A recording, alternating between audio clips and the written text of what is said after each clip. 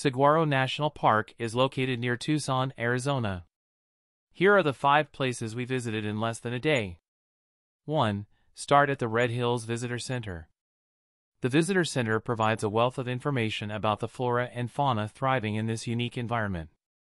Take a ranger-led tour around the visitor center. It's down here. I learned gonna get a something new. Saguaro can flower And and bear red fruit that is edible. is sacred. The ironwood is not regular wood. It will not sink this in water. Today.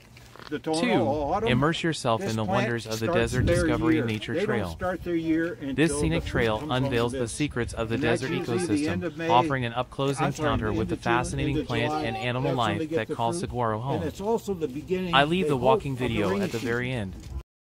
3. For an adventurous drive, venture along the 6-mile unpaved Bajada Loop, where the rugged terrain and stunning vistas create an unforgettable experience. 4. Valley View Trail winds through the diverse landscapes of Saguaro National Park, offering panoramic views of the valleys below. This trail stands out to me because it features labeled representative plants, providing insights into the local flora.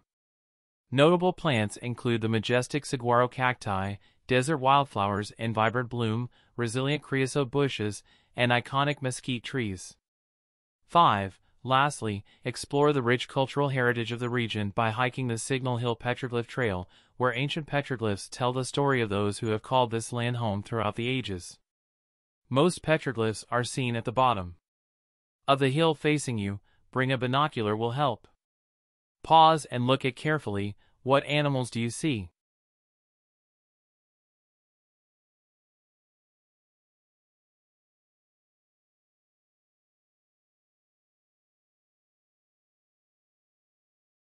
Fence.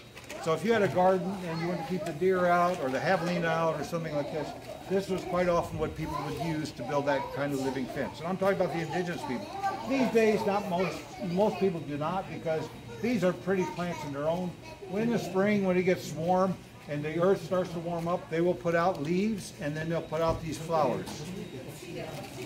And the flowers just like like fire coming out the end of these, just big arcs five, six, sometimes even longer, colored bright orange flowers coming out of the top. The flowers are edible, the seeds are edible,